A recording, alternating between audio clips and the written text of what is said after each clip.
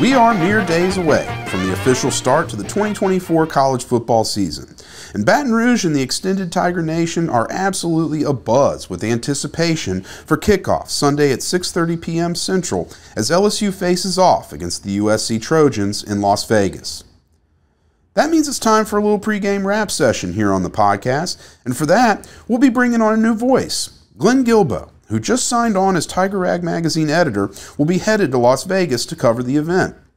In between packing his bags and sorting out a rental car, Glenn sits down with Jeff Palermo and Todd Horne to discuss the upcoming game and gather their thoughts on what fans can expect this weekend.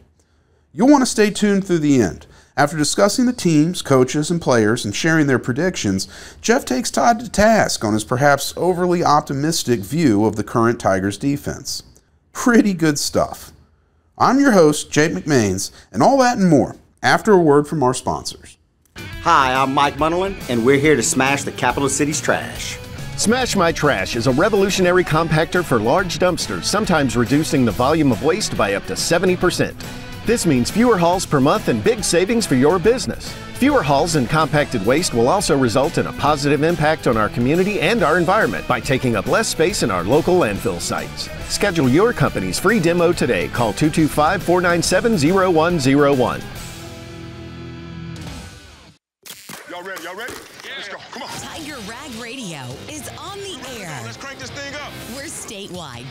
Down the latest happenings with LSU athletics. This is us. Hear from the coaches, put together a defense that puts us in a position to win the SEC. the players, Having fun and we working, baby. That's it, baby. the recruits, Show some passion and some heart. and those who cover the Fighting Tigers of LSU and the SEC. All those things are going to be there, which are important. It's two hours of nonstop LSU talk. What talk. a privilege. I mean, you get to represent LSU. Tiger Rag Radio is brought to you by Cummins. Cummins creates power solutions that the world depends on.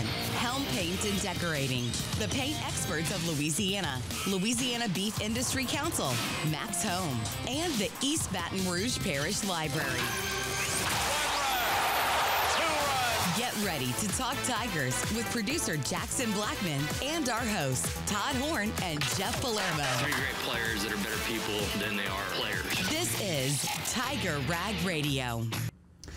Well, it's going to be it's going to be cool just seeing LSU in in Las Vegas in a in an NFL stadium against a you know a big time brand ranked opponent. Uh, the only game of the day in college, or the only significant game of the day in, They're in projecting. college. They're projecting 10 million viewers Yeah, on Sunday night. prime time Sunday night. Uh, it's going to be exciting. I think. Um, you know, it was Will Campbell had a great interview on Tuesday uh, with, with the media, and he was talking about how we're we're, we're going to run the ball. I'll just come out and say it. That's all we're going to do. We're going to we're going to run the ball. I mean, he made it made it very simple. And, you know, like I said, we're going to run the ball. So, I mean, that's not something we're hiding or, you know, trying to keep quiet. I'm telling everybody right now we are going to run the football. So you can take what you want with that. And then Matt Flynn said on the radio this morning, sounds like a guy who's going to plays for an offense that's going to throw it every down. but uh, no, it, it's it's going to be fun to see. I, I mean, I think they're going to run too. It's it's going to be fun to see them try to establish the game plan, kind of old school, you know, and and uh, and then using Garrett here and there. But uh, you know, I, it's going to be fun to see if that run game, if they really stick to it, sets up uh, a passing game because the quarterback has an advantage when they when he's when they are running most of the time. Yeah, and you know they did spend all of spring and all of fall camp, and I'm sure most of the last few days of practice getting ready for USC, re- totally revamping that run game to incorporate more than just inside zone reads. They're pulling the tackles, they're running slants, they're running all types of different push pull uh, concepts. They definitely want to run, and, and I want to go back to a, a, a point last year, if you'll remember, whenever that wild LSU uh, Ole Miss game in Oxford, where uh, you know, we we talked about it recently, where LSU could not stop Ole Miss even though they were up by two scores with what nine minutes to play in the game, ended up losing 55 to 49. It was a very entertaining game. It was like a basketball game. Yeah, and it was it was like an arcade game even almost. But after the game, Kelly's like, "Well, I hope you enjoyed that. That's not the kind of football I like."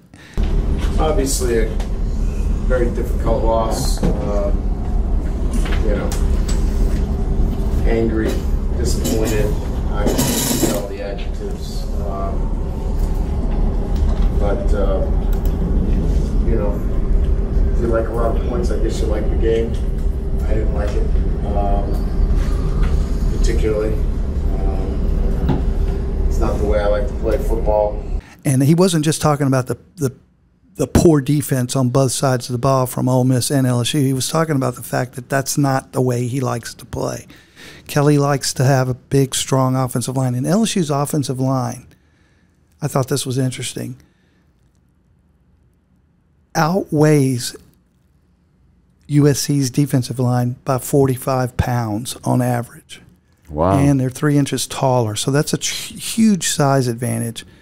And of course, you know, LSU with Will Campbell and Emery, Emery uh, Thomas have the two projected best offensive tackles. Emery Jones. Emery, Emery Jones. Jones. What I say, Emery Thomas? Yeah. Emery Jones have the two best offensive tackles uh, in the country. Did they just get Emery Thomas off the portal? Or was it, uh, yeah, yeah. Oh, okay. Yeah, okay, because yeah. I know that works quick. Speaking of the portal, USC has more portal players than anybody but Lane Kiffin at Ole Miss anyway. But but I think what we're going to see is we're going to see that in Kelly's third year, with a matured offensive line, with a powerful offensive line, that they are going to be dedicated to the run, like Campbell was saying last night. So I I want to take a look at it from the defensive side because I think LSU offensively will be just fine, right? I, think uh, Nussmeier, as long as he's able to, you know, not turn it over multiple times, uh, as long as LSU stays away from turnovers, penalties, I think they're going to score their fair share of points. But the key is, will LSU somehow slow down USC offensively? Can they? Brian Kelly, in his, I don't know how long that press conference was on Monday, I think that the most important thing he said, and he's, he just kind of said it off the cuff. I don't want to say off the cuff, but he just was talking. He says, We got to make them one dimensional.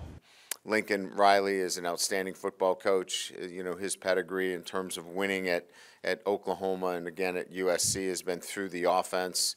Um, and, you know, we've got to do a great job, obviously, in, in making them, um, you know, one dimensional. Um, you know, they, they are, if they are balanced offensively, they are very difficult to defend. And what I think he wants to do in this game is stop USC from running the ball. Go back to the USC UCLA game a year ago. Bruins held USC to three yards rushing. You go back to the Oregon USC game last year. USC was held to 73 yards rushing. Only scored 27 points. I'm saying only because if, if LSU is able to hold USC to less than four touchdowns, I think they win this game because I think LSU is going to score four touchdowns in this game. So that to me is what needs to happen for LSU to win this game. You know, if, if, if I was Lincoln Riley, I, I would not be that concerned with my USC running game. I would I would focus more on the pass and not really worry about that because that, that's where I think LSU is less weak against the run than they are against pass. So I would, uh, I would, I would not really focus on the run too much if I was USC. So I mean, I think he might come out throwing, throwing a lot. Well, he, you know, he's he's from the Mike Leach school of of the air raid, and he he runs the air raid. But the key to the running game for USC is that it sets up the rest of the offense. Whereas LSU this year is going to have the ability to throw the ball. They're going to, to be more balanced in throwing the ball but they don't need to run to set up the pass. USC does. See, I don't think USC does need to run to set up the pass against LSU. They might against other teams, and um, I think LSU um, would be wise to not not run to set up the game to set up the pass, but just to run because they got maybe the best offensive line in the country, and I think they can really just dominate by by playing old school. But uh, if I'm if I'm Lincoln Riley, I'm I'm I'm going to look at that secondary and try to take advantage of it quick. Yeah, but conceptually, the best way for him to do that is to have the threat of a run. Well, maybe with a new quarterback. Yeah, you're right. Well, no, but but just schematically the way the air raid works, and and LSU's going to be running that three five three defense Well, too.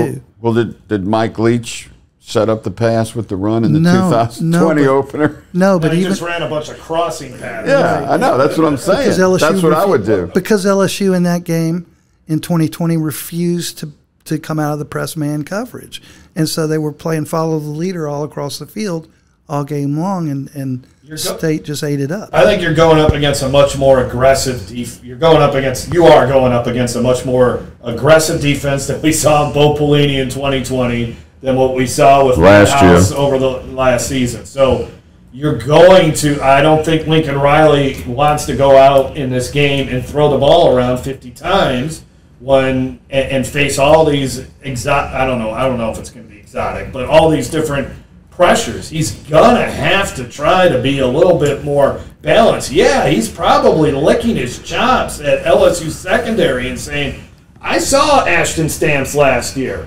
I mean, the way the coaching staff is making him out this year, it's like he's the next Deion Sanders. I mean, he's not. I mean, he's a he's a good player, but he's not a great player. Sage Ryan is a safety. He's not a quarterback.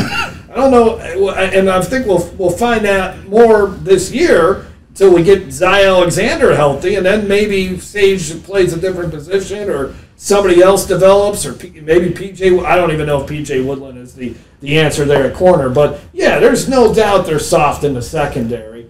But I think Lincoln Riley also understands he's going up against a defensive coordinator that's going to try to create some chaos. So why don't we try to do something and be a little more? Let's let's try to be as balanced as we can in this game. How, how much zone do you think Blake Baker's going to play?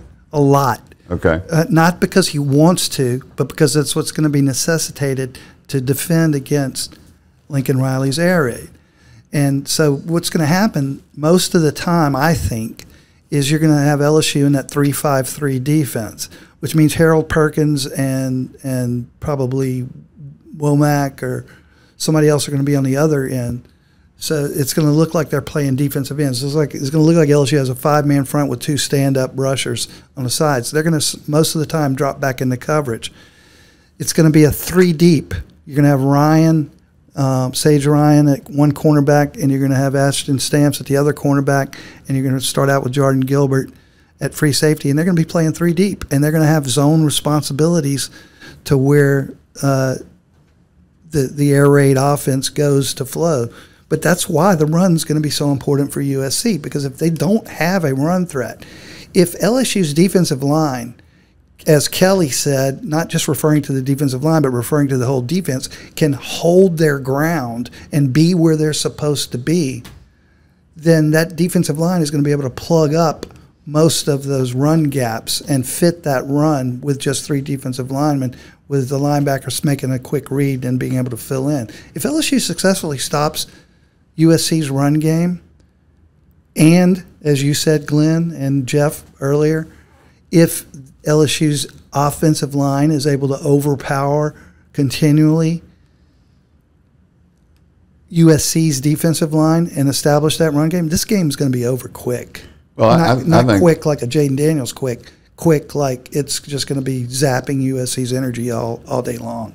Well, I, I think I think it's something we haven't discussed is that that will be really key in um, stopping USC's pass game, regardless of the run. Is uh, the pressure LSU puts on the new USC quarterback? Yeah. Uh, you know, so if he, if he doesn't have any time to throw, and and uh, like like I said uh, last night on the Tiger Rag Radio, if I'm Blake Baker, you know, you're not that good in the secondary anyway, so you might as well blitz a lot. Yeah, but but it's like Jeff said. It's like when you blitz a lot, and and Kelly said this multiple times during camp. We are not going to be good at natural pressures. I mean, he didn't say it. I'm paraphrasing, But what I took from it was we're not going to be good at natural pressures. We're going to have to create mm-hmm. those, manufacture Right. pressure. And so when you do that, that means that Harold Perkins is supposed to be dropping back into coverage or is the way the defense is designed, but because they're manufacturing a, a pressure, he's going to blitz then. Well, it's going to leave the back out of the backfield wide open yeah, out in the flats on the on whatever side Harold Perkins is coming from, for example. To Jeff's point, you're going to get burnt if you don't if you don't make the pressure, make the tackle, make the blitz work. So you can't do it every play. And you might get burned even when you're not blitzing. Well, the only way you get burned when you're not blitzing is if your players aren't making the right reads or in the right coverage, or if they're immobilized and not doing. Well, they're something. not that talented. I think LSU's got. I said this all last year, Jeff, and you'll remember it. I, I was like, you know, the defense can't be that bad. They they've this is a major college. They they're recruiting. They may not have the you know the NFL uh, players in the DBU in the backfield, but they still have talent. But LSU didn't live up to its talent last year, and I think that's because the coaches weren't getting enough out of them. And the players really disliked the coaches Right, last year on defense. Right, So and, that's, and it was that's a, a, big spiral. deal. The whole season turned Yeah. into a spiral. Yeah. Both USC and LSU on defense know they sucked last year. They both have chips on their shoulder. I think LSU has enough talent on defense to be in the right place, as Kelly says. And as Glenn, you said in your article on Tiger Rag yesterday, uh, it's just not that hard. Just you know, Kelly says it's just not that hard to do it, and I think that's what the key to the game is going to be. LSU might need to leave, leave its chips in the casino. Are you buying what Brian Kelly's been saying? There's been less coverage breakdowns and all this. I, I, I'm not buying it because I look at a practice as a just a control. I mean, the coaches are literally on the field with the players, I'll tell you what. I, and so I, I just don't buy. I gotta see it to believe. and even if there aren't breakdowns, like he said, it's still practice. It's still practice. It, it is practice, but I'll, I'll give LSU's defense this, and I want to reference what Matt Moscona said because I believe that. I saw it myself, and I thought he verbalized it really well. LSU's got good offense, so whenever their LSU's offense is going against that defense in 11 on 11, they're, they're they've got their hands full, not just on the offensive line, but with those receivers and the running backs. So they're getting to practice against the best of the best. What I think that Moscona said early in camp, uh, as LSU donned the pads for the first time, uh, he said, you know, when you watch the defensive players in drills go against the offense, when when it's one-on-one drills or even uh, you know seven on seven at times, they're getting beat. But when you put put it in 11 on 11, LSU's defense becomes more competitive because they're in the right place at the right time and they're taking up for it. And that's the advantage that LSU's defense is going to have against USC's offense. USC's offensive line is is a question mark.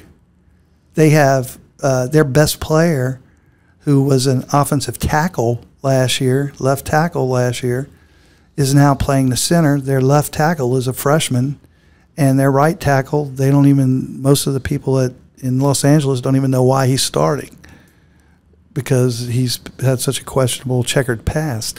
So uh, LSU's defense has some opportunity here. They do what they're supposed to do. They're in the right place at the right time, and they have the right talent. And I think they have a better coach, better coaching staff. Could we talk special teams?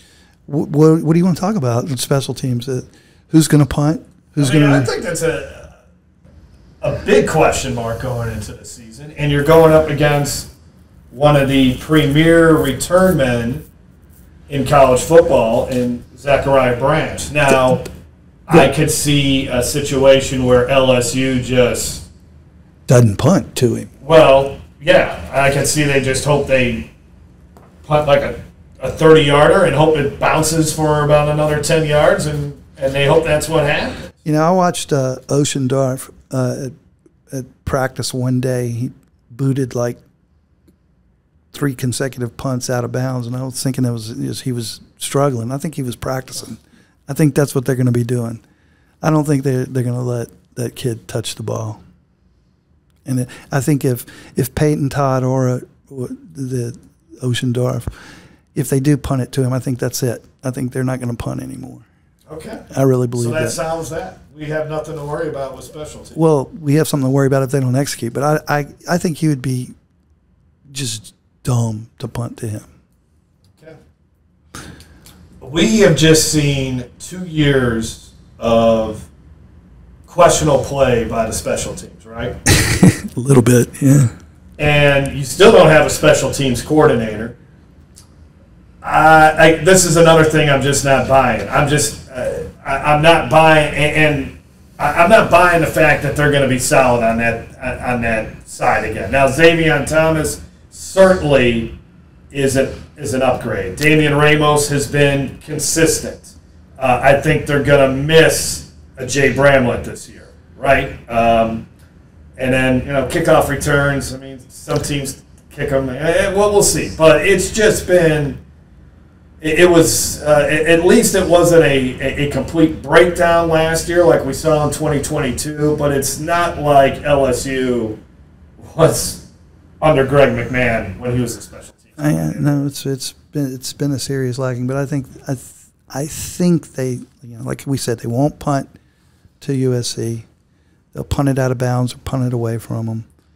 I think uh, Zavion Thomas is going to be a good punt returner for LSU, and I think he and Aaron Anderson will be returning kickoffs, or Kaleb Jackson Yeah. as well. Although I don't think you're going to want him returning kicks as much um, this year because of how much he's going to have to be playing on the, in the backfield. But I think I think special teams is always a question mark Yeah. right now, and we'll we'll just have to see. Um, let's let's go ahead and you know revisit our predictions, Yeah. see if we've changed them any, and then let's wrap this up so we can get back to work. And I think Kelly's press conference is starting pretty soon. So you want me to go first? Why not? Okay. Um, I still feel. I think this is going to be a close game uh, Sunday night. I'll go with LSU. I just think they have the ability to be more balanced than USC in this game, based on LSU's offensive line. I think Nussmeier will do. He'll do fine. I don't think it's going to be a you know, four or five touchdown passing performance, uh, but I think he's going to do fine in this game. Maybe a couple touchdown passes. Wouldn't be surprised if there's an interception in there. Um, and as long as LSU stays away from penalties and turnovers, they should win this game. I- I'll go like 33 27, something like that. Okay. I'm going to stick with mine uh, in the um, Tiger Rag issue coming up. Uh, LSU is going to win 38 14. I think Blake Baker is just going to steal the show in his uh, opener as LSU's defensive coordinator. I, I think he's going to stymie USC's offense and, and Lincoln Riley, and I think um, LSU's offensive line will dominate the game with, with the running game, and they'll uh, pass here and there with Nussmeier. All right. So I've predicted that LSU is going to win 42 to 39. All right, which will be over the over the uh, under over in terms of points because it's at like 63 and a half or 64 like we talked about earlier. But but I'm conflicted because if LSU does what they want to do on offense, they're gonna they're they're gonna just rip the soul out of USC and pull away in the second half. But I still think there's going to be some lapses. There's going to be some turnovers, perhaps, and I think USC is still going to experience a modicum of success offensively against LSU's defense. Even though I think you're going to see a, a much improved defense. So I still I'm going to stick with 42-39, but I wouldn't be surprised if it's uh, maybe even 13 or 14 points difference at the end. LSU winning by two touchdowns. I, I still think it's going to be. I'm going to err on the side of caution with that, and still say it's going to be a closer game. But yeah, LSU either way. I bet if you watch the spring game again, you you, you would. Uh, Because what did what did I say coming out of the spring game? What did I say? Go ahead. You, you, can you quote. were you were you were just flabbergasted at how bad they were. and, here's the thing: this I was actually thinking about this on my on way, my way into work today. I, I mean, we heard last year about how good the defense was going to be, And what did we see in the obviously Florida State torched them, and then even go back to the bowl game in Wisconsin. There was all this talk, man. The defense is coming around, uh, you know, a whole month, and they were awful, awful against one of the worst offenses in college football. Uh, and that was the second string offense for the most part. And then we we heard how great in the spring game that, or in spring, hey, defense coming around. This and that. PJ Woodland, look at this. This guy's the next Champ Bailey, and they were awful. They were awful. And now we're don't get sucked in, Todd. Don't get sucked in. But I've seen the defense in the fall be more competitive, just need to and the whole has looked better than the sum of the parts. I just need So- to see it in a game. I- I- and, and I have no problem coming back here next week saying, "Man, that defense looked good." Yeah. Oh, I know. I- Baker is a he I- is a unbelievable defensive coordinator, but I have a feeling there will there will be a le- that the problem always going in these season openers. It's been a month of just rainbows and flowers. No, right? you're, you're right. You're right. and you just and and it's so hard as a media member because you, you've just been dri- nobody's had a bad camp there is not one guy on that 84 ma- if i think it's 84 scholarship players not one guy that as far as those 84 scholarship players had a bad camp you know why they have only one injury that's a concern going into this game Which is Chris Hilton, which we hadn't talked about. you know why there's only one injury because they've been playing two-hand touch for the last four weeks That's Todd. true. I told you last night. They don't tackle in practice anymore. there's a reason why they're healthy going into this game Well, but you know, now that you brought up, I'm having a PTSD episode because that I knew I'd spring reel it I was I was livid. I was livid. I was telling Jeff that sucks. They're horrible. This is pathetic. And they were, but they have looked better in the fall, and I do believe they were playing vanilla in spring. So okay I'm rationalizing. All right. But just flip it on for a little bit on Saturday at 1 o'clock, would you? All right, guys. All right. Wait, So, we do we have any do we USC? Glenn's? yeah, we he already come. He already. Yeah, it was about 10 minutes ago before your rant. Good All right, God. Should, do we have the USC fight song? And it's Cardinal and Go. Cardinal and Go. I still think it's more of a maroon. All right, guys. Uh, go Tigers, Glenn. Go cover Kelly, and let's get started. Join the East Baton Rouge Parish Library for inspiring events in August. Celebrate the power of storytelling with a presentation by the accomplished author of the Jaipur trilogy, Alka Joshi. Listen to fascinating stories based on DNA and genetic genealogy at our Decoding Stories Symposium. And learn about the history of Baton Rouge with photographs from the library's digital archive. Visit ebrpl.com for information on these programs and many more. Get inspired in August. All right, that'll be it for today's episode. Thanks to Jeff, Todd, and Glenn for the discussion. We'll be back later this week, but until then, stay tuned to TigerRag.com for all your latest LSU sports news.